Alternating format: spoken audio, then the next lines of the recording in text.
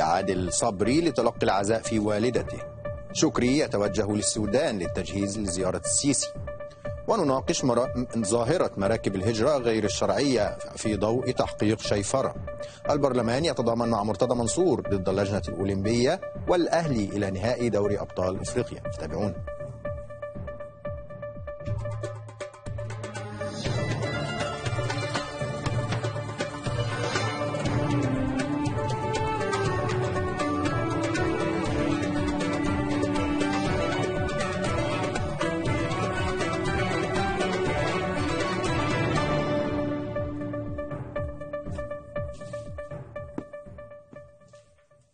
دفاع الكاتب الصحفي عادل صبري رئيس تحرير موقع مصر العربية والمحبوس احتياطيا في القضية رقم 441 قدم طلب لخروج الأستاذ عادل من محبسه في سجن القناطر علشان يتلقى العزاء في والدته اللي توفت يوم الاثنين امبارح.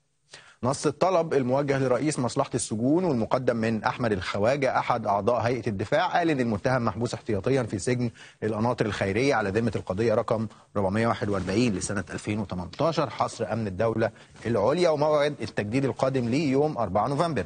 وقال المحامي أيضا في الطلب إنه والدة المتهم توفيت صباح الاثنين 22 أكتوبر وأرفق صورة من تصريح دفن الجثمان. الأمر الذي معه توجهنا على الفور لمقر نيابة, أمن الدولة وتقابلنا مع رئيس فريق التحقيقات في هذه القضية وكذلك المحامي العام لنيابة أمن الدولة. وقدموا طلب لحضور المتهم مراسم دفن جثمان والدته وعزائها. الحقيقة أنه الطلبات النوع ده منطقية وعادية جدا وبتحصل كتير لحتى مساجين في قضايا جنائية وفي مختلف القضايا خصوصا إن الراجل محبوس احتياطي يعني لسه لم يدن حتى الآن بأي تهمة. خلينا نرحب من القاهرة بالأستاذ جمال عيد رئيس الشبكة العربية لمعلومات حقوق الإنسان. برحب بيك يا أستاذ جمال. وهل عند حضرتك معلومات بخصوص يعني مصير الطلب؟ هل توافق؟ ما توافقش؟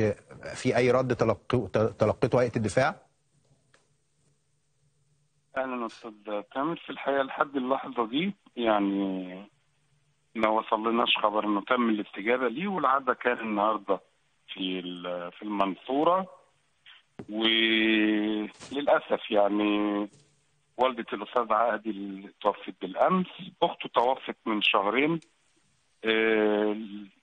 من الأسبوع اللي فات لما كان بيتجدد له كان قال يعني والدته كانت مريضة يعني مرض موت وطلب إنه يشوفها قبل ما تتوفى. لم يسمح له والآن لم يسمح له بحضور وفاة والدته زي ما حضرتك قلت هو محبوس احتياطي وبقاله سبع شهور وعلى قضية ثانية غير اللي اتحبس عليها في الأول م.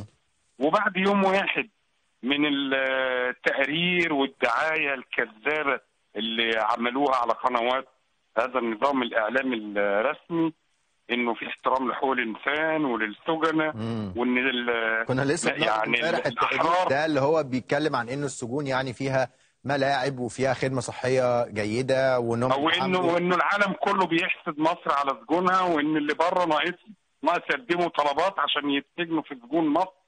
دعاية كذابة وفارغة.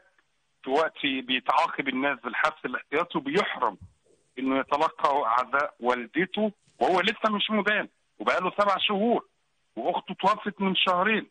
يعني هذا الحال المتوحش والمدرك الحقيقة يعني لا لا يقبله أي حد عنده ضمير أو أي حد يبرر له. طيب هو الموضوع هل في شيء في القانون جمال؟ يعني بيحدد الموضوع يعني بيحط أي معايير لأنه الطلب ده يتم الموافقة عليه في حالة كذا وكذا ولا الأمور كلها تقديرية للنيابة ولجهات التحقيق؟ لا هو في النوع ده من الطلبات السلطة التقديريه لمصلحة لمصلحة السجون. فهو جوازي. عايز أقول لحضرتك كمان ويعني بوضوح وأنا محامي بالنقد إنه حتى لو بينص عليه القانون ما فيش قانون في مصر. الإيد العليا الآن لوزارة الداخلية على كل شيء على كل شيء على الإعلام وعلى القضاء وعلى كله. فلان النهارده الناس كتير واخدوا قرارات إفراج شوكان وهيثم محمدين وآخرين واخدين قرارات إفراج الداخلية كأنها بتسخر بتقول لا لا بارادتي مش بإرادة القضاء. لم يفرج عنه. فإحنا بنتكلم مش بس على إنه سلطه فعلا وزارة الداخلية ممثلة في مصلحة السجون لكن كمان التوحش ده في مواجهة يعني منتقدين مواطنين لهم كافة الحقوق مش مدانين في مواجهتهم للأسف يعني كل يوم الدولة بتثبت لنا يعني بشكل ساطع إنها دولة بوليسية لا تحترم قانون ولا حقوق إنسان ولا أدمية مواطنينها. طيب هو في النهاية أستاذ علي صبري هو عضو في نقابة الصحفيين وعضو جمعية عمومية وكان رئيس تحرير لمصر العربية أو ما زال المفروض وكان رئيس تحرير الوفد في النهاية هو راجل صحفي فطبيعي إن نقابة الصحفيين تقوم بدور في الحاجات اللي من النوع ده ولو حتى دور الضغط أو دور التضامن مع الطلب هل ده حصل في هذه الحالة؟ إحنا سامعين بقالنا أكتر من أربع شهور إن نقيب الصحفيين بيبذل مجهود على الأقل مش هقول عشان كل الصحفيين. على الأقل على الصحفيين أعضاء النقابة اللي حصل في الحقيقة إن عدد الصحفيين اللي بيتحبسوا وبيتخطفوا بيزيد لم يتحسن لم يتحسن وضع ولكن يزداد عدد الصحفيين اللي موجودين. يعني حتى الجزء النقابي أنا آسف وأنا بقول بوضوح إنه بعد ما كان زمان نقابة المحامين قلعت الحريات تراجع دورها. بقت نقابة الصحفيين قلعت الحريات تراجع دورها الآن ما فيش أصلا حريات في في مصر ولا نقابات بتقوم بالدفاع عن اعضائها ولا نقابه محامين ولا نقابه صحفيين. ما فيش للمواطنين زي ما بيقولوا غير ربنا وغير اصرارهم على الديمقراطية في هذا النظام البوليسي. طيب هو هو أستاذ عادل أيضا كان فقد شقيقته من شهرين، هل وقتها برضه تقدم بطلب لتمكينه من زيارتها قبل الوفاة أو يعني حضور مراسم العزاء ولا ما تقدمش وقتها؟ لا ما تقدمش ما تقدمش الطلب لأنه كمان في الحقيقة يعني الداخلية زي ما هو الرأي الموضوع جوازي بالنسبة لها وليها سلطات واسعه فيه إنه ما بدرتش بده. في حالات. طبعا إحنا بنشوف يعني ما بقاش فيه. يعني كنت هقول أيام السجون المرفهة لمبارك واللصوص والرموز بتوعه كانوا ما دول بقى اللي كانوا مسجونين في ظل أوضاع خمس نجوم. واللي ممنوع من السفر بيقدم طلبه وبيسافر واللي محبوس يعني بيجي أنا شفت يعني محبوسين من نظام مبارك في عربيات مكيفة مش عربيات المدة بتاعت أبو جبل أنا شايفهم بعيني أنا شاهد عيان على دي. إنما عادل صبري للأسف. صحفي منتقد ومنتقد ومنتمي من خندق يناير فيجوز فيجوز عليه التوحش والانتقام وإهدار القانون دايما بنشوف يعني الراجل صدر له إخلاء سبيل في نفس اليوم حطوه على قضية ثانية عشان ما يخرجش. أخته توفت القضية الثلاجة 441 طلب إنه يزور والدته لم يسمح ليه قبل ما تموت. ماتت رفض العزاء إن هو يحضره أو يعني لم يرد على طلبه بحضور العزاء وفي النهاية أو لما تتكلم يقول إنه ما فيش تعنت ضد أي حد وإن الأمور بيحكمها القانون. لكن واضح انه تامر أيضا وبنقول إنه يستخدم الحبس الاحتياطي كعقوبه كعقوبة الآن وما فيش جهه والنائب والنائب العام ضد راجل لا يفعل شيء ولا بيحاكمه ولا بيفرج عنه. مم. صحيح أنا بشكرك. هذا وضع مشين. أنا بشكرك أستاذ جمال عيد رئيس الشبكة العربية لمعلومات حقوق الإنسان. شكرا جزيلا.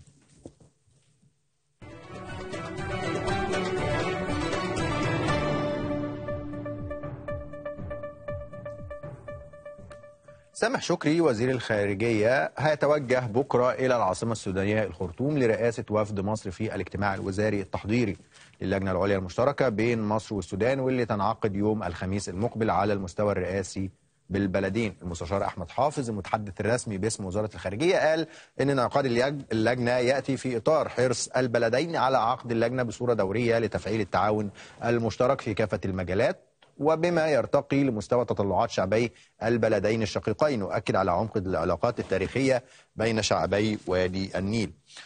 انضم إلينا عبر الأقمار الصناعية من الخرطوم الدكتور عبد الوهاب الطيب البشير الباحث في والباحث والخبير في الشؤون الإفريقية في مركز البحوث للدراسات الإفريقية. برحب بيك يا فندم معايا و هذه التصريحات دايما في كل الزيارات المتبادلة في اجتماعات اللجنة العليا المصرية السودانية في كل يعني زيارات وزير الخارجية ورئيس الجمهورية في البلدين. بنسمع تصريحات جيدة جدا عن العلاقات الثنائية وعن تطلعات البلدين لكن الواقع إنه على أرض الواقع كتير من الحاجات لسه ما حصلتش كتير من المشروعات والتعاون الثنائي ما حصلش. من وجهة نظر حضرتك إيه اللي مأخر هذا التعاون؟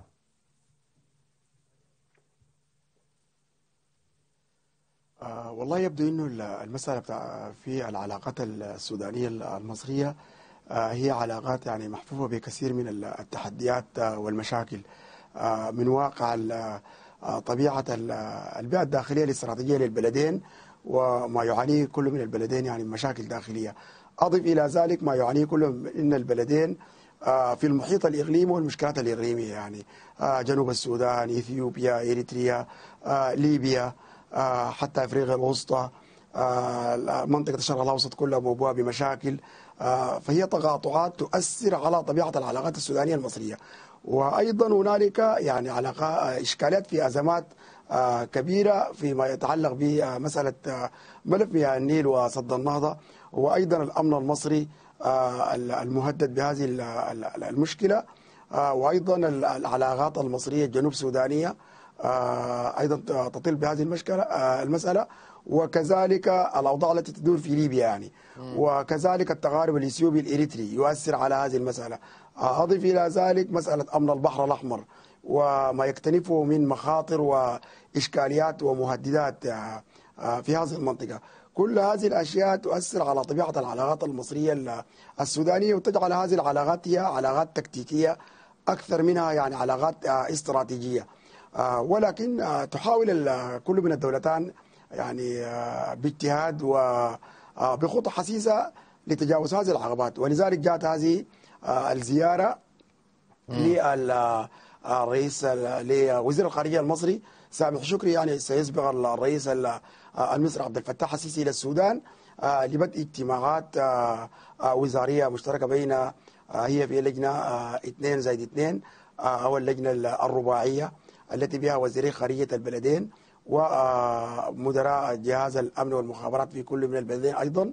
آه، يسبق غمة الرؤساء اللي هي اللجنة الرئاسية المشتركة ل آه، آه، البلدين. تمهيدا للجلوس على طاولة- آه، مفاوضات آه، للمباحثات حول قضايا كثيرة وحول ملفات كثيرة يعني. آه، فهو تمهيد إيه إيه بقى هذه الملفات آه، اللجنة الكثيرة دكتور عبد يعني. الوهاب؟ هل آه، في أفق لمشروعات معينة هيجري تنفيذها آه، آه، قريبا. سمعنا كلام كتير عن الربط البري عن التجارة الثنائية. هل في حاجات على الأرض هنشوفها بعد هذه الزيارة ولا هنخرج برضو بالبيانات المعتادة عن التعاون الثنائي والعلاقات الجيدة؟ وفقط والله في في فيما يبدو يعني من خلال الملاحظة والمتابعة ل ل ل الزياره السابقة للرئيس ال- المصري عبد الفتاح السيسي يمكن دي هي الزيارة السادسة آه للرئيس السيسي للسودان ويقال يعني بحسب إفادات ال- آه المسؤولين والمراقبين بأنه هي- هو اللقاء رقم 24 يعني آه داخل وخارج السودان ومصر في ملتقيات كثيرة. ويمكن آخر لقاء التقى الرئيس عبد الفتاح السيسي بالرئيس السوداني فخامة الرئيس عمر البشير في ال- المنتدى الصيني الأفريقي في بيجين يعني أو في بكين. وتداولوا يعني على طاولة هذا الاجتماع آه، على هامشه آه، لقضايا كثيرة ويمكن أسست لهذه الزيارة آه، التي يعني سوف تكون يوم ال- الخميس القادم أو بعد يومين يعني. آه، قدر الأربعاء وبعد بكرة الخميس سوف تكون هذه الزيارة.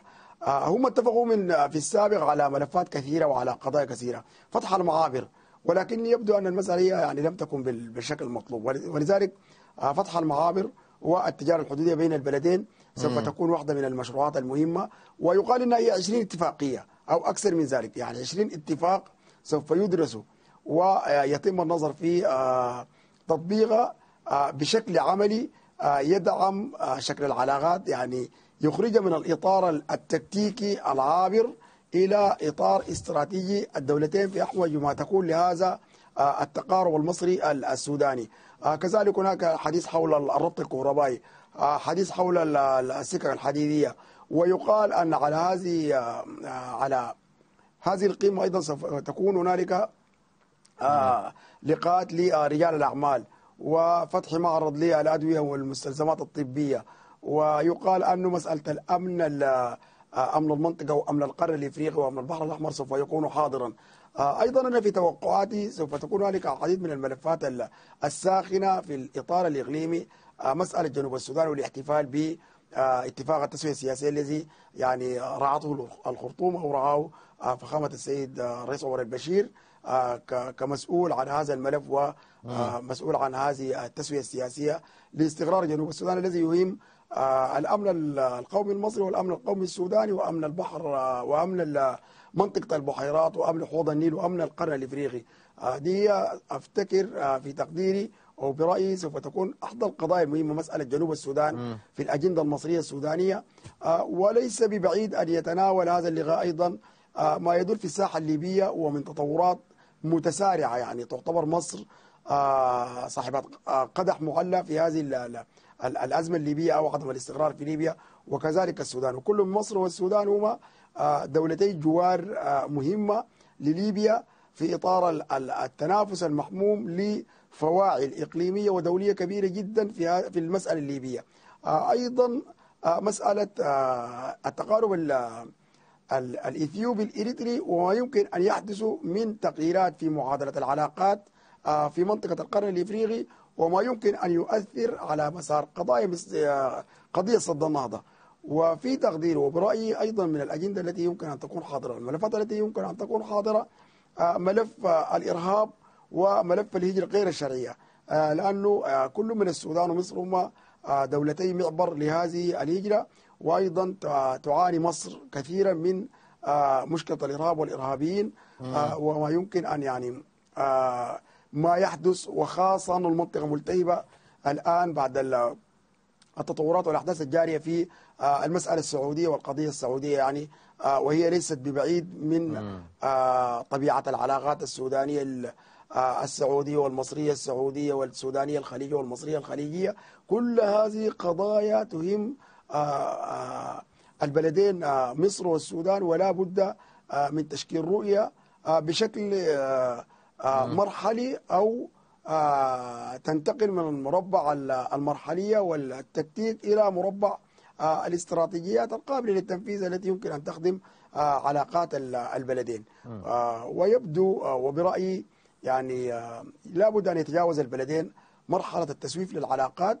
صحيح. آه، وأفتكر هنالك يعني إرادة آه، إرادة إرادة من رئيسي البلدين للدخول في آه، علاقات آه، متميزة وعلاقات آه، آه، حميمة هو, هو ده كان المتوقع من بعد تجاوز فترة ال- التاريخ فترة الفتور والشد المتبادل اللي كانت حصلت في العلاقات المصرية السودانية قبل تقريبا عام اللي. انتهت تقريبا قبل عام وكان في طموحات صحيح. انه بمجرد تجاوز هذه العقبة ما يكونش الهدف بس في حد ذاته تجاوز هذه العق- العقبة ويعني إنهاء الخلافات لكن أن يتم البناء على هذا هذه المصالحة لو جاز تسميتها يعني بين قوسين. من وجهة نظر حضرتك كيف تمت الاستفادة أو إلى أي مدى حصلت الاستفادة من هذا التطبيع وهذا التقارب المصري السوداني؟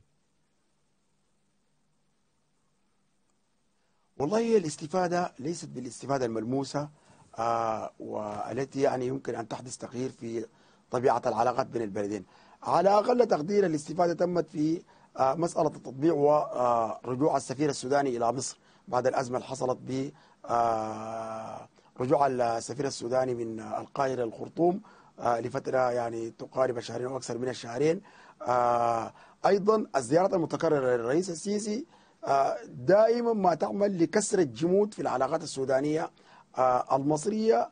آه، المواجهة آه، كما أسلفت قولا آه، بتحديات كبيرة يعني هي أكبر ال- الملف الأمني يعني. وإلا ما كانت هنالك لجنة آه، وزارية مشتركة ولجنة آه، رئاسية عليا مشتركة آه، يكون فيها وزيري آه، ومديري ال- الأمن والمخابرات في كل من البلدين هذه هي طبيعة العلاقات السودانية المصرية.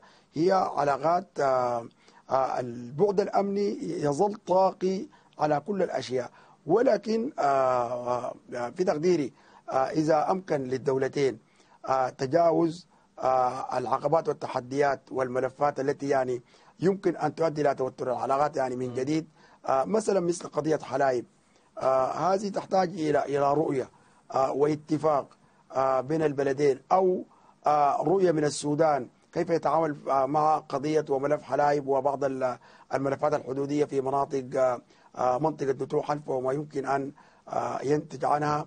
إذا آه، تداعيت الأوضاع في كل المنطقة منطقة القرن الأفريقي والبحر الأحمر وحوض النيل مشت في اتجاهات آه، النزاعات الحدودية وإثارة هذه الغلاغل أيضا يمكن أن ت- أن تؤخر شكل الاتفاق. ولكن آه، حوجة البلدين آه، هي آه، تحتم آه، التجاوز والاختراق السريع لهذه آه، التحديات وهذه آه، المشكلات آه، وزيارات الرئيس ال- آه، عبد الفتاح السيسي الرئيس المصري إلى السودان تؤكد ذلك. يعني هي آخر زيارة كانت في آه، 19 آه، آه، يوليو آه، 19 7 2018 والآن نحن في آه، 23 أكتوبر ويوم 25 أكتوبر بعد يومين سوف يلتقي الرئيسان.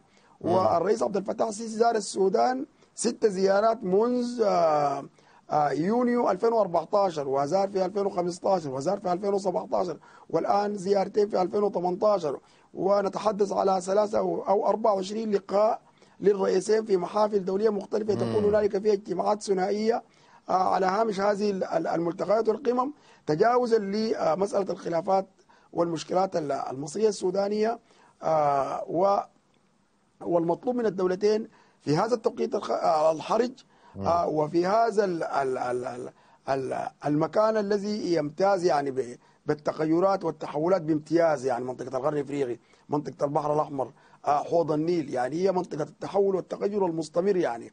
أحداث في كل الدول آه، يعني بشكل متسارع آه، بشكل لا يمكن آه، مجاراته إذا لم يكن هنالك يعني آه، إرادة قوية وحسابات آه، دقيقة آه، بشكل مرحلي وبشكل استراتيجي آه، يمكن أن يدفع به علاقات البلدين يعني إلى الأمام. وأنا أقص- يعني أقدر أقول إنه آه، مصر والسودان آه، محتاجين يعني آه، إلى التقارب وإلى آه، الجدية في الدفع بالعلاقات يعني لا تتحمل أي منعطفات حرجة أو أي توازنات حرجة. آه، مصر دولة مهمة في الإقليم لحفظ التوازنات. وللدفع بعجلة التعاون والخروج من دائرة الصراعات أيضا السودان دولة مهمة لتوازنات العلاقات والتوازنات الإقليمية آه، والتوازنات الأمنية العسكرية والتوازنات الاقتصادية آه، في في في هذا في هذه المنطقة. آه، على ما يبدو إنه آه، الملف الأمني والاقتصادي هو سوف يكون أبرز آه، ملفات التداول آه، بجانب آه، آه، الملف الأمني سوف يحوي آه، مشكلات الدول التي تتقاطع فيها علاقات البلدين وتلتقي فيها مصالح البلدين آه، في هذا الجوار المضطرب وهذا الإقليم المضطرب حوض النيل آه، والقرن الإفريقي والبحر الأحمر. والله هو صعب إن إحنا ننظر أصلا إلى العلاقات المصرية السودانية من غير ما نربطها بشكل عام بالعلاقات المصرية الأفريقية. يمكن قبل الثورة وفي السنوات الأخيرة من حكم الرئيس مبارك أو يعني غالبية سنوات حكمه كان في إهمال متعمد لملف العلاقات المصرية الأفريقية. أيضا بعد الثورة مصر انكفأت على ذاتها لفترة طويلة في مشاكلها وتغيراتها الداخلية. لكن يمكن في الكام سنة اللي فاتوا بدأنا نشوف اتجاه مصري أكتر نحو أفريقيا وفي القلب منها طبعا السودان. من وجهة نظرك كيف تقيم العلاقات المصرية الأفريقية والاهتمام المصري أصلا بالملف الإفريقي في الوقت الحالي؟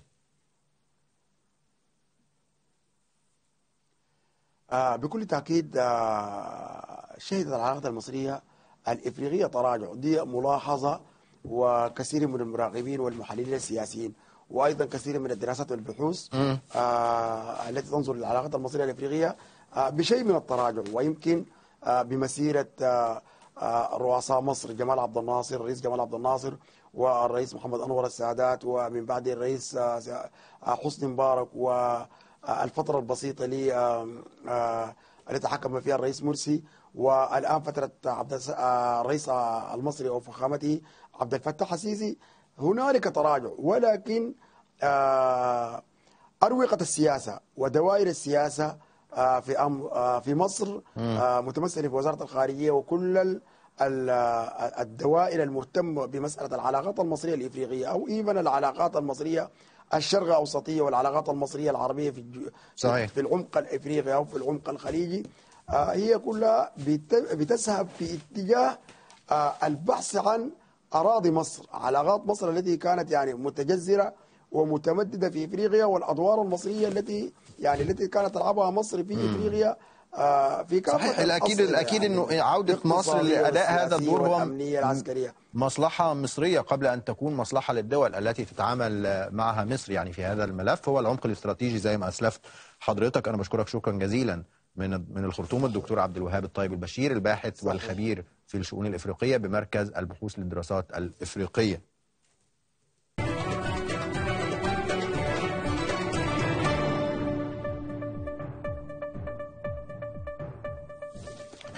امبارح بثينا على التلفزيون العربي تحقيق استقصائي مهم عن غرق مركب رشيد ضمن برنامج شيفرة وضمن يعني تغطية أكبر على آه، ظاهرة مراكب الهجرة غير الشرعية وكيفية التناول معها. خلونا نفكر بهذا الحادث المؤلم آه، اللي وقع قبل عامين تقريبا ومات فيه أكتر أو غرق فيه حوالي 204 من المهاجرين المصريين والأجانب في سبتمبر 2016 الحقيقة التحقيق كان فيه أكتر من جزء مهم وكان فيه أكتر من كشف جديد وشهادات آه، من الضحايا وتسجيلات جديدة. خلونا نشوف جزء من هذا التحقيق. إحنا ما ما ما شفناهمش ما شفناهمش خالص. إحنا لا لا إحنا كنا بنعمل لوحدنا وهم بعد كده هم بيعملوا لوحدهم. هم كلمونا يعني لو في حاجة طلعت ساعدونا ما أعرفش إيه ورحنا ساعدناهم. وطلعنا جثتين تاني يوم تالت يوم مش تاني يوم تاني يوم ما حدش طلع. تالت يوم.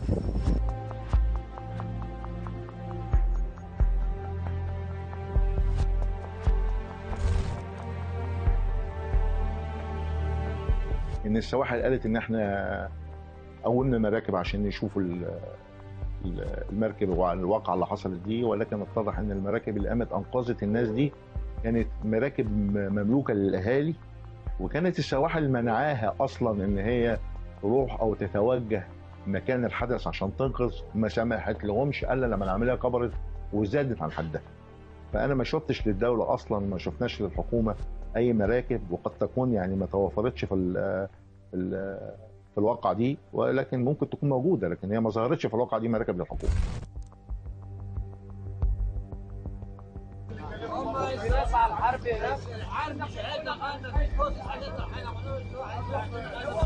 مين يا باشا؟ مين اللي قال لكم كده؟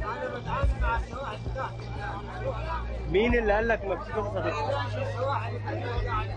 لانش الحرب اللي هناك. يعني أنتوا ما تسمح لكمش تطلعوا النهارده. يمكن ال- الفول دايما بيتم تقديمه على إنه أرخص حاجة. يعني في النهاية اللي معهوش فلوس هو اللي ممكن يروح يجيب له شقتين فول من على العربية وخلاص يعني ياكل ويشبع والأمور تعدي. لكن الأزمة أزمة ارتفاع الأسعار وصلت للفول كمان. فواضح إن خيار إنك تروح تجيب برضه سندوتشين فول من على العربية الموضوع بقى مكلف جدا في الفترة الأخيرة. وكنا من كام يوم اتكلمنا على زيادة أسعار الفول. يعني مؤخرا إحنا نزلنا بقى بكاميرا بتوقيت مصر عشان نشوف يعني إيه آه، موضوع عربيات الفول وصل لفين وأسعار الفول وصلت لفين والناس بيتعاملوا إزاي مع هذا الارتفاع وشايفينه إزاي؟ تعالوا نشوف الناس قالوا إيه وهنروح لفاصل صغير نرجع بعده نكمل باقي فقرات برنامجنا. خليك معانا.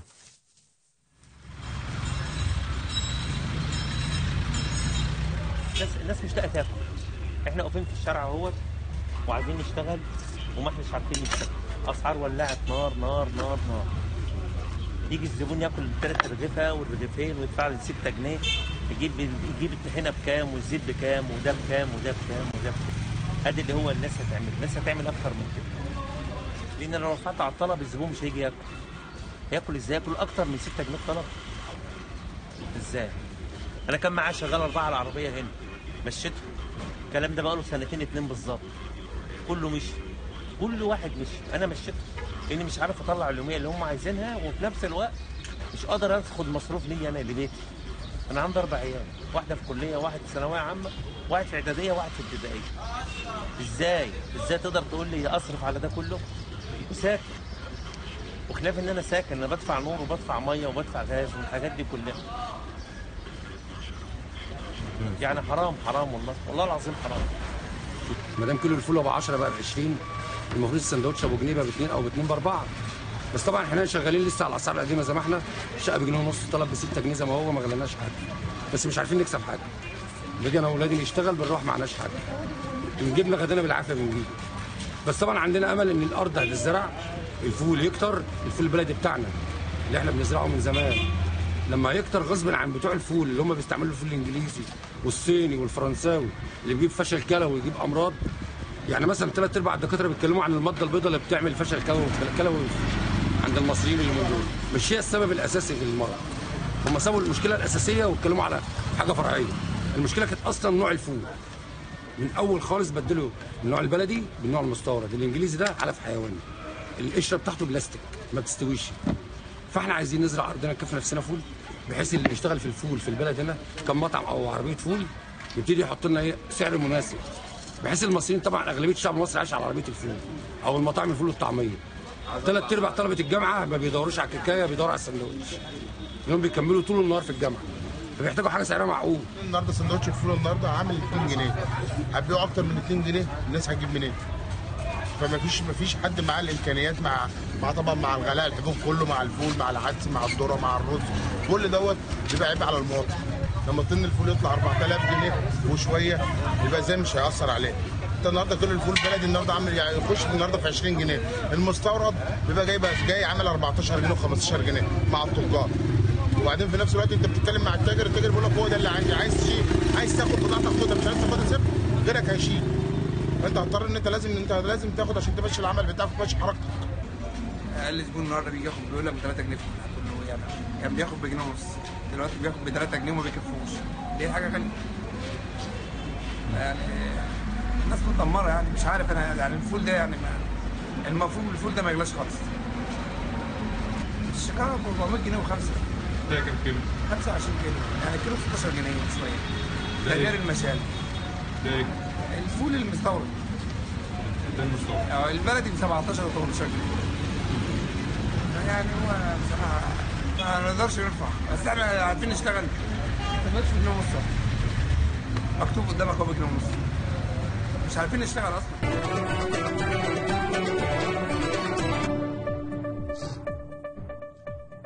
أهلا بكم مرة تانية في بتوقيت مصر. الدكتور علي عبد العال رئيس مجلس النواب قال إن الحصانة البرلمانية يجب احترامها ولا يحق لأي جهة أن تتجاوز ما اقره الدستور والقانون واللائحة الداخلية في هذا الشأن. وأوضح رئيس البرلمان كمان في كلمته في أمام الجلسة العامة للمجلس اليوم إن الحصانة للحماية أثناء العمل ولا يمكن المحاكمة والمساءلة لأي نائب قبل الرجوع لمجلس النواب. موجها رسالة للأعضاء يجب ألا نستغلها في السب والقذف وارتكاب الجرائم. جاي الكلام ده بقى إيه؟ في تعقيبا على ما اثاره بعض النواب من القرار اللي خدته اللجنة الأولمبية ضد رئيس نادي الزمالك على خلفية تجاوز في حقها بإيقافه واستعرض مرتضى منصور عضو المجلس ما تعرض له من هجوم وتجاوز في حقه من جانب اللجنة الأولمبية. مرتضى منصور اللي بيشتكي من الهجوم وال- والتجاوز. والحقيقة إنه الموضوع ده يخلينا نقف قدامه كتير يعني. الراجل علي عبد العال بيتكلم عن إنه لا تجوز أو لا يجوز يعني القفز على الحصانة البرلمانية للنواب وإنه لازم يتم الرجوع للمجلس اولا. ماشي. هو تم الرجوع للمجلس اولا لكن المجلس مرة واثنين وثلاثه وأربعة وفي قضايا تهديد بالقتل وفي قضايا تجاوزات من كل النوع رفض رفع الحصانه عن مرتضى منصور. تخيلوا إن الحصانة الدبلوماسية اللي بتكون للسفارات الناس خلاص تجاوزتها واتسمح أو الدولة نفسها السعودية سمحت بالدخول للتفتيش بيت القنصل والسفارة أو بتاعتها ومرتضى منصور لسه الحصانة بتحميه من كل شيء. فالحقيقة إنه ال- الانحياز الواضح ده من جانب رئيس المجلس لعضو ارتكب يعني كومبو كده من المخالفات الحقيقة مش مفهوم خالص. خلونا نرحب بال عبر الأقمار الصناعية بالأستاذ عبد الفتاح أحمد الناقد الرياضي. أستاذ عبد الفتاح يعني كيف رأيت مداخلة أو تعقيب الدكتور علي عبد العال على الأزمة المطروحة بين مرتضى منصور واللجنة الأولمبية. وهل المفروض إن اللجنة الأولمبية عشان تاخد قرار بإيقاف شخص هو رئيس نادي في إطار عمله كرئيس نادي ملوش أي علاقة بعمله البرلماني المفروض برضه ترجع للبرلمان الأول قبل ما كانت تصدر هذا القرار؟ بسم الله الرحمن الرحيم. أهلا بك آه، صديقي العزيز تامر واهلا بالساده المشاهدين. آه، تعليق الدكتور علي عبد العال كلنا قرأناه اليوم. آه، في الحقيقة هو تعليق صادم تعليق آه، يعني حتى الدكتور علي عبد العال بيناقض نفسه فيه. في الوقت اللي هو بيقول فيه إن الحصانة ال- البرلمانية لا يجب القفز عليها أو لا يجب تجاوزها قال في الوقت نفسه إن لا يجب استخدامها للسب والقذف وارتكاب الجرائم والتشهير بالناس. يعني قال ده وقال ده. إزاي إن الدكتور علي عبد العال لحد دلوقتي مش حاسس إن العضو البرلمان السيد مرتضى منصور بيسب وبيشهر وبينتقد يوميا آه. يوميا بي بي بيتجاوز في في حق ناس ناس كبيرة وناس صغيرة ناس رياضية ناس غير رياضية بيتجاوز كل التجاوزات تجاوزاته فقط الحدود. وتجاوزاته كلها مرتضى علاقة بعمله النيابي ولا عمله البرلماني. تجاوزات ليه كرئيس نادي وليه كشخص عادي ملوش علاقة خالص بالدور النيابي اللي بيأديه لو كان بيأديه أصلا يعني. بس خلينا نقف برضه سعد الفتاح عند واقعه ممكن تكون تكون يعني كاشفة في سكه في سكة إنه كيف يتم القفز على هذه الحصانة البرلمانية في حالات إذا كان الهوى العام في هذا الاتجاه. زي ما شفنا في حالة الدكتور مصطفى النجار اللي صدر حكم نهائي بحبسه ثلاث سنين وحتى الآن هو مختفي الصوت الصوت ضعيف شوية. طيب آه، سامعني كده بوضوح. عبد الفتاح لا تقريبا لا سامع كويس. طيب يعني خلونا نحاول نحل يعني ال- ال- المشكلة اللي في الصوت لحد ما يرجع لنا أستاذ الفتاح أحمد. كنا يعني حابين نقارن الحقيقة بين اللي حصل من الدكتور عبد علي عبد العال النهارده بخصوص نائب يعني لم يسلم أحد من تجاوزاته وشتائمه وتهديداته وبين اللي حصل مع الدكتور مصطفى النجار. على كلام قاله مش بقى كدكتور اسنان لا ده قاله كنائب داخل البرلمان وصدر حكم بحبسه ثلاث سنين عليه. حكم نهائي وهو الآن مختفي نتمنى له السلامة ونتمنى يعني نطمن عليه في أقرب وقت ممكن. لكن هذه المقاربة تقول لك إنه إزاي بيتم استغلال هذه الحصانة فقط هي مش بتحمي النواب هي بتحمي شريحة معينة من النواب على رأسها بالطبع. مرتضى منصور نتمنى عبد الفتاح تكون سمعنا دلوقتي.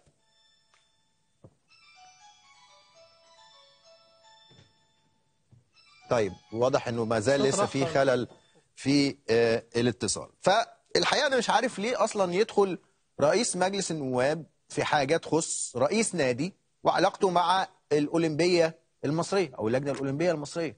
يعني ده شأن رياضي بحت في قضية رياضية بحتة فبالتالي بيتاخد فيها قرار في نطاق اختصاصات هذه اللجنة.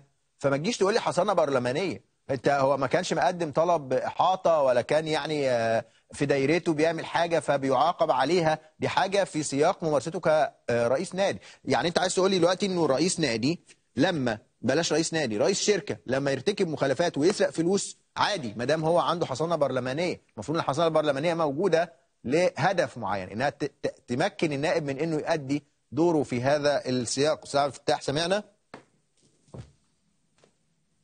آه سامعك. آه فبنتكلم عن إنه مفترض إنه الحصانة مش علشان تحميه في في في صراع مع اللجنة الأولمبية. أكيد أنا متفق معاك تماما. هو هو دلوقتي مرتضى منصور آه، من من البداية خالص هو عارف قواعد اللعبة في مصر. هو عارف إزاي آه، يهاجم إز- عارف الخطوط الحمراء. هو ما بيتجاوزش الخطوط الحمراء عارف حدوده لحد فين. علشان كده تلاقي ان واحد زي الدكتور علي عبد العال بيحميه. يعني الدكتور علي عبد العال بنفسه في جلسة من الجلسات قال أنا عندي مئات الب- البلاغات ضد مرتضى منصور كلها بلاغات بتترفض. آه، في لحد دلوقتي من يومين ثلاثة هاني زادة عضو مجلس إدارة نادي الزمالك طلع له أمر ضبط وإحضار لأن في قضية أموال عامة في في الزمالك وفي تجارة بعملة وفي مدير المتابعة متحول للتحقيق وفي المدير المالي هربان. يعني في قصة كبيرة المفروض مرتضى منصور متورط فيها لكن طبعا بسبب الحصانة وإن هم مش قادرين يحققوا معاه أو إن هم يوجهوا له اتهام رسمي أو هم يوجهوا له دعوة للتحقيق معاه يعني استدعاء. فحولوها لعضو مجلس إدارة وحولوها لموظفين ال- المالية في النادي. لكن آه، زي ما بقول لك هو الدكتور علي عبد العال بيحمي مرتضى منصور. البيان اللي طلعه أو التصريحات اللي بيقولها الدكتور علي عبد العال ملهاش علاقة زي ما حضرتك ذكرت بال بال آه، دي دي مخالفات آه، راجل تجاوز ودي أمور رياضية. الرئيس اللجنة الأولمبية من حقه إن هو لما يتشتم هو هو رئيس اللجنة الأولمبية مش هو اللي بدأ ال- ال- الأستاذ مرتضى منصور هو اللي طلع في برنامج تلفزيوني وانتقد رئيس اللجنة الأولمبية المهندس هشام حطب هو وأعضاء مجلسه شتم. والمستندات وصوت وصورة و...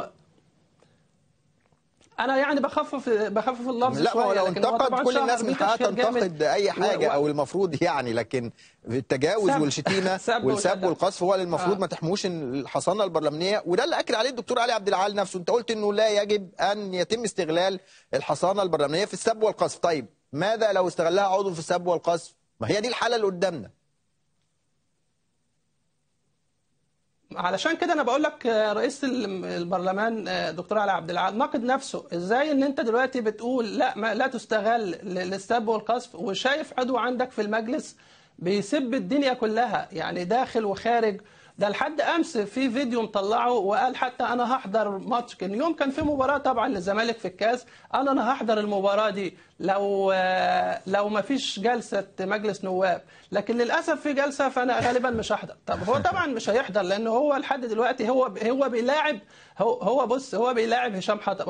هشام حطب مشكلته كمان. يعني حتى أنت لو قرأت التصريحات علي عبد العال هتحس إن فيها تهديد لهشام حطب رئيس اللجنه الأولمبية لأنه هو قال له مضمونه كده إن أنت لو تجاوزت هنستدعيك ومش هيكون ليك مكان عندنا ومش هيكون لي مكان في مصر تقريبا. يعني اللفظ اللي قايله نوع من التهديد لهشام حطب. وهشام حطب طبعا يعني هو هو مش برضه أول تهديد ولا أول شخص يعني. يخضع لهذا شوية النوع من التهديد. خليك مع أستاذ عبد الفتاح لأنه زي ما في مشاكل النهارده تخص اللجنة الأولمبية وخناقة مرتضى منصور. كان في أيضا خبر جيد وهو تاهل النادي الأهلي إلى نهائي دوري أبطال أفريقيا.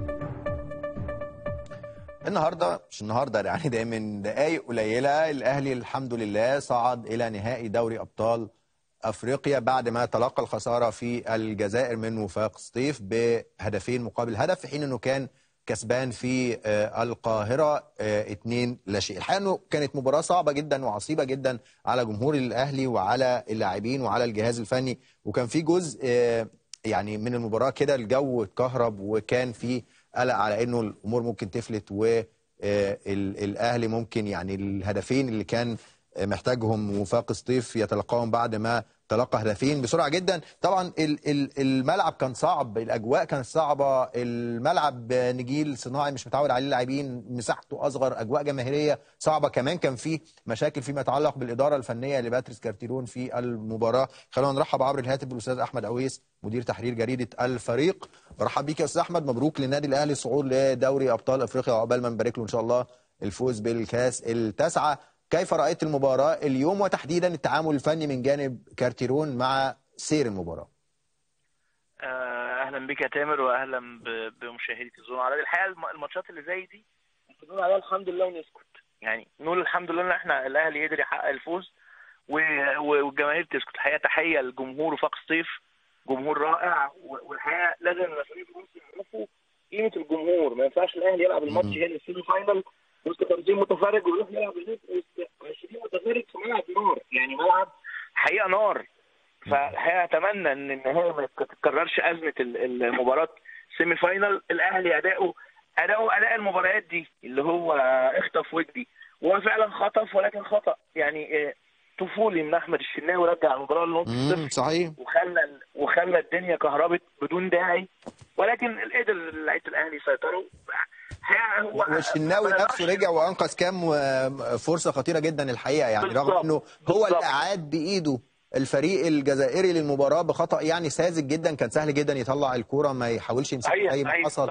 لكن برضه هو بعد ما أخطأ يعني عالج الخطأ بإنه آه، أنقذ أكتر من كورة كانت خطيرة جدا الحقيقة الحقيقة آه آه الشناوي تالق في آخر 10 دقائق وال- والحقيقة ال- الأهلي لعيبة الأهلي كلهم تالقوا أنا بقول لك الماتشات دي اللي هي بتاعت الحمد لله يا رب إن إحنا وصلنا. ما, تتكلمش عن خطة ما تتكلمش عن تكتيك ما تتكلمش عن أي حاجة غير إن الحمد لله الأهلي وصل. الأهلي قدامه فترة 10 أيام بالظبط الماتشين ال- ال final قدام الترجي 2 11 و9 11 الجمعة بعد القادمة والجمعة اللي بعدها. ما فيش وقت طويل الأهلي إصاباته كتير قوي. آه، هيكتفي بالمجموعة دي. وخلينا نقول إن إحنا عرفنا قيمة قيمة اللعيبة الكبار يا تامر في في المباريات دي. يعني ما ينفعش أنت تبقى قائمتك محدودة وتسافر. مؤمن زكريا. يعني ما ينفعش. على الأقل كنت ممكن تحتاجه في في, في رتم المباراة. صحيح خصوصا انه إنه أنا أعت... يعني أحمد ما أعرفش وجهة نظر إنه كان الأزمة الكبيرة وجود أحمد حمودي مع آه، أحمد فتحي وهو الحقيقة دفاعيا قليل جدا. وأنت رايح تلعب مباراة صعبة قدام فريق صعب آه، على ملعبه وقدام جمهوره فالأولوية إن الاجنحه تعرف تدافع لكن الحقيقة إنه وجود حمودي في الجبهة اللي جنب أحمد فتحي صرف نظر إنه ضيع كمان جون ما يضيعش. لكن وجوده كان سامح لفريق الجزائري إنه يخترق هذه الجبهة دايما لأنه بيواجه أحمد فتحي بس. لا كارثة دفاعيه وبعدين حتى لما كارتيرون بدل وودى إسلام محارب قدام فتحي وجاب حمودي قدام أيمن أشرف المدير الفني لوفاق سطيف ريس توفيق غير وراح لعب على الجبهة اللي فيها حمودي. يعني الراجل صحيح هو عارف إنه. زي ما بنلعبه بالظبط. يعني الحقيقة أدار المباراة بمنتهى البراعة والحقيقة. وفاق سطيف كان يستحق الفوز. وفاق سطيف أدى مباراة رائعة. آه حلوله كانت قليلة كان بيلعب على لعبه واحدة. ولكن ال 90 دقيقة تقريبا الأهلي ما راحش غير بكرة وليد سليمان وكرة آه، آه، أحمد حمودي. فالحقيقة أداء الأهلي محتاج ترتيب آه، الإصابات كتيرة عندنا. صحيح. أعتقد انه إنه بس آه، هو زي ما انت قلت. هذه المباريات تلعب تلعب باللي تكسب يعني مش محتاجين أداء مش مش هتستفيد حاجة لما تروح ت- تأدي كل ما عندك وت- وتاخد جونين ثلاثة وتخرج من البطولة ف والحقيقة ال- ال- ال- العام الماضي يعني أبسط دليل يا تامر يعني صح. العام الماضي إحنا أدينا مباراة رائعة قدام الوداد هنا. خرجنا متعادلين واحد واحد وقدمنا مباراة أروع في, في. المغرب وخرجنا. خسرانين واحد فالحقيقة ال- ال- ال- الأهلي كان يحصل المكسب بأداء ولو مش بأداء يبقى المكسب وخلاص ان شاء الله في النهايه بشكرك احمد عويس مدير تحرير جريدة الفريق. شكرا جزيلا. أستاذ فتاح هرجع لك مرة تانية بسؤال فني أيضا حوالين آه، تغييرات آه، كارتيرون. اولا اختياره للتشكيل يصر على إنه يلعب ب 4 2 3 1 في مباراة صعبة قدام خصم صعب عنده وسط ملعب آه، قوي. ما استفدتش انت خالص بالثلاثه اللي تحت راسين الحربة في حينك؟ لو كنت لعبت مثلا بثلاثه في قلبه نص الملعب كان ممكن تسيطر على نص الملعب بشكل أفضل. هو كارتيرون واضح إن هو برضو يعني ساعات مجبر إن هو يلعب بتغييرات معينة أو بتشكيل معين لأن الأهلي في الفترة دي طبعا والفترة اللي فاتت بيعاني عنده غيابات وعنده إصابات كتيرة مم. وعنده ضغط مباريات. فهو طبعا كان المفروض يلعب بأسلوب دفاعي أكتر من كده وخصوصا إن هو حتى لما تابع آه، آه، رتم المباراة وحس ان الاهلي مضغوط وفاق سطيف بيهاجم بشكل كبير كان لازم يراجع صحيح. نفسه في النقطة دي.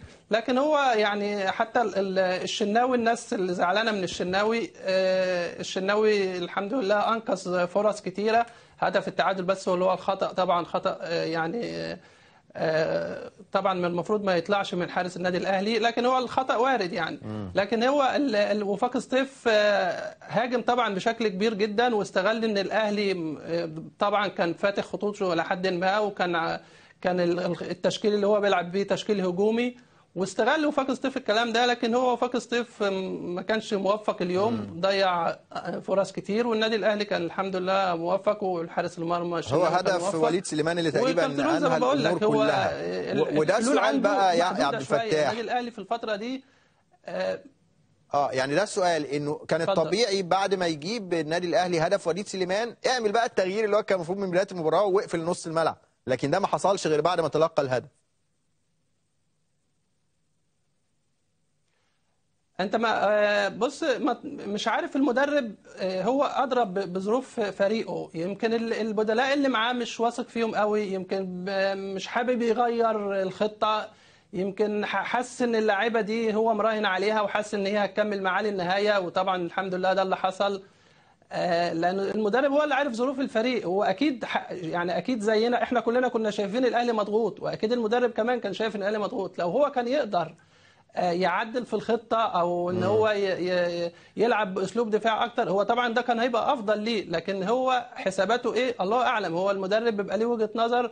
آه، أكيد هو شايف المباراة زينا بالظبط وعارف إن الاهلي كان مضغوط بشكل كبير جدا خصوصا بعد بعد الهدف الثاني النادي وفاق ستيف وحتى قبل الهدف الثاني الأهلي تقريبا طول المباراة مضغوط بشكل كبير يعني. مم. طيب يعني آه، ننتقل بقى للمباراة النهائية شايفها إزاي؟ اولا من حيث ال- ال- التراتبية بتاعه اللعب لأنه سمعنا كلام من بعد ما صعد الترجي إن كده الأهلي هيلعب الذهاب في آه، الرادس والعودة في مصر. هل ده صحيح؟ الأهلي يلعب فعلا العودة في القاهرة؟ وشايف المباراة إزاي بشكل عام وفرص الأهلي؟ أو المباراتين بقى. هي طبعا هتبقى مباراة يعني تهانينا طبعا لنادي الترجي و- وبرضه بن- لازم نقول hard luck لوفاق سطيف قدم مباراة عظيمة. آه، هي طبعا تبقى مباراة زي ما زميلنا أحمد عويس قال الفترة قصيرة جدا الأهلي مش هيقدر يغير قوي في التشكيل. آه، غالبا هيلعب آه، يعني التغييرات هتبقى محدودة جدا لأن هو ده التشكيل اللي, اللي لعب بيه.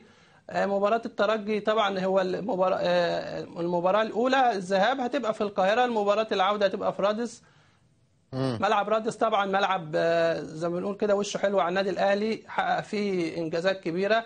ومباراة الترجي الأهلي والترجي اتقابلوا في في دور المجموعات. صحيح. في النسخة دي نسخة 2018 الأهلي طبعا آه، تعادل هنا تعادل في ال- في مصر ونجح إن هو يفوز في تونس. فأنا أتوقع إن الأهلي الأهلي عنده روح البطل عنده يعني الأهلي 12 مرة دي المرة ال 12 يوصل فيها للنهائي عنده النجمة التاسعة. الترجي نفسه دي تقريبا سادس مرة يوصل للنهائي يعني حتى النهائي الترجي يوصل النهائي الأهلي عنده بطولات أكتر من المرات اللي الترجي وصل فيها للنهائي يعني الأهلي ما شاء الله بيبحث دلوقتي عن النجمة التاسعة يعني. فأتوقع إن هو تبقى طبعا هتبقى عشان الحساسية ماتش هيبقى مباراة تبقى صعبة آه، زي ما قلنا الأهلي بيعاني عنده شوية غيابات عنده طبعا مشكلة مؤمن زكريا. لكن أعتقد إن الأهلي عارف هو عايز إيه من المباراة وهيقدر يخلص المباراة من من مباراة من لقاء الذهاب. وحتى في مباراة العودة زي ما حصل قبل كده في زي ما قلت لك في دور المجموعات هو نجح إن هو يفوز على على الترجي في تونس.